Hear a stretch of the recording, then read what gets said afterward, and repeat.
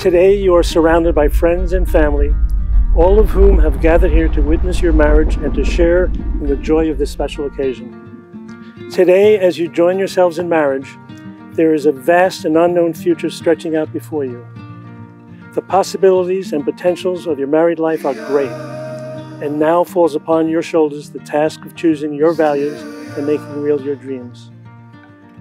Through your commitment to each other, may you grow and nurture a love that makes both of you better people, a love that continues to give you great joy, and also a passion for living that provides you with energy and patience to the face the responsibilities of life. Enjoy yourself. Thank you.